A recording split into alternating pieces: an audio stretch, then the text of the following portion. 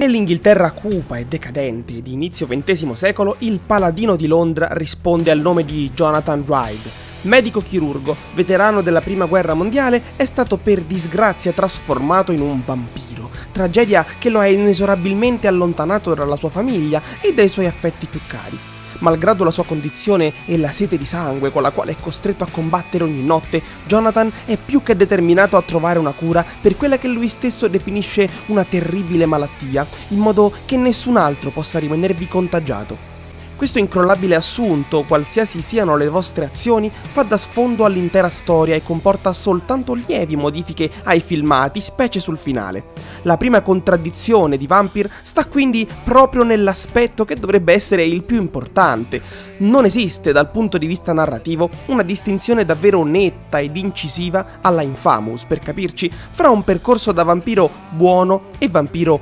cattivo il quale può infischiarsene di tutto e tutti, compresa la sua missione finale. Ed è un vero peccato perché poi a livello strutturale il gioco vi permette, qualora lo desideriate, di uccidere praticamente tutti i personaggi con cui potete interagire, le interazioni sociali sono o dovrebbero essere il cuore pulsante dell'esperienza offerta da Vampire e c'è da dire che per buona parte delle vostre scorribande riescono abbastanza degnamente nel loro compito. Il problema più che altro nasce quando si prova a scendere un po' più a fondo nell'amalgama di scelte e situazioni, pungolando in maniera neanche troppo forte l'illusione narrativa che ricopre tutto quanto. Così facendo ci si rende conto che in realtà non c'è molto altro sotto la superficie che la cosa migliore da fare è stare al gioco degli sviluppatori, accettando che siano le parole e nient'altro che quelle a tenere insieme tutto e dimenticando non solo che anche se provassimo a mettere indiscriminatamente a ferro e fuoco la città, le nostre azioni non avrebbero reale ripercussioni sulla storia, che procede per lo più dritta per la sua strada.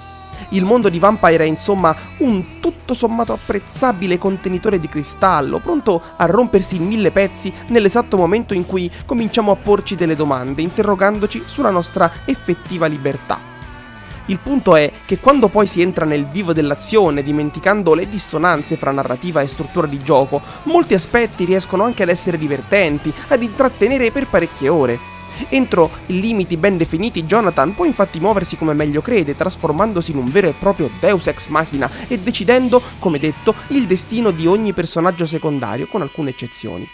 Se optate per la via del buon samaritano avrete accesso a diverse quest secondarie, che sono tutto sommato piacevoli, pur non tantissime e non esattamente il massimo dell'originalità. Se invece vi trasformate in un mefistofelico giustiziere della notte otterrete un determinato quantitativo di punti esperienza per ogni cittadino eliminato, i quali vengono stabiliti sulla base della qualità del suo sangue e possono aumentare nel caso in cui si decida di curare gli ammalati per poi eliminarli brutalmente. Dando libero sfogo alla vostra sete, anche nell'arco di una sola notte porterete i quartieri al collasso totale e zone prima tranquille verranno popolate da licantropi, skull e qualche vampiro ostile. Tutto ciò è legato ad un sistema di crescita fortemente asimmetrico che fornisce molti più punti esperienza infischiandosene delle missioni secondarie e facendo fuori tutti.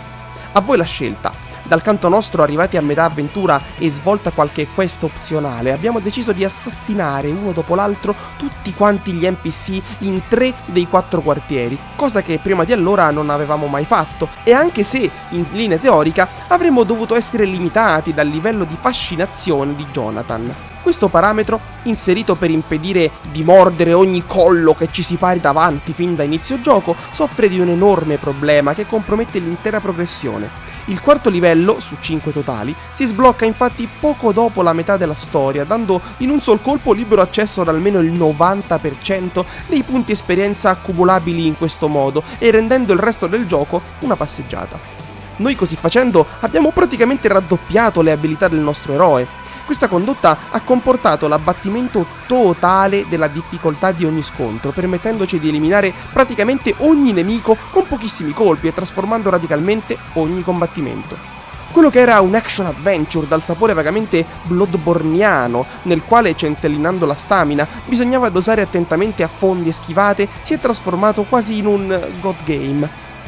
Visto e considerato tutto quanto, è persino deprimente mettersi a parlare di tutte le meccaniche che regolano anche abbastanza finemente il sistema di combattimento, fra cui la possibilità di stordire i nemici in vari modi per poi morderli e ottenere il sangue, utile a mo' di mana per utilizzare i poteri vampireschi di Jonathan.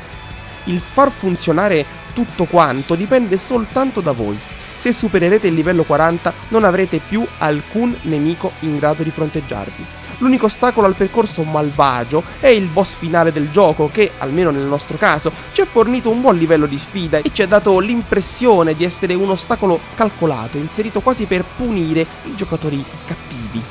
Nel corso delle 20-25 ore necessarie per giungere al finale ci sono almeno un altro paio di scontri apprezzabili, ma se volete divertirvi dovrete comunque fare attenzione ad affrontarli senza livellare troppo. Dal punto di vista visivo invece, ed è inutile girarci intorno, Vampire è assolutamente splendido. La ricostruzione liberamente romanzata della Londra del 1918, famosa per la sua decadente bellezza, è eccezionale. Persiste però qualche evidente problema di ottimizzazione, almeno su console, ed è infine completamente assente, per ora, il supporto a PlayStation 4 Pro e Xbox One X, la cui maggior potenza avrebbe sicuramente giovato all'intera esperienza, quantomeno per avere performance più stabili. Proprio come Remember Me degli stessi sviluppatori, Vampire è un titolo che vive di luci ed ombre doveva essere il progetto della definitiva consacrazione di Don't Nod Entertainment, ma così purtroppo non è stato. Se anteponete la narrativa al gameplay, Vampire può sicuramente piacervi, ma anche in quel caso dovreste mettere in conto più di un elemento, fra cui la totale mancanza di un'interazione che non sia la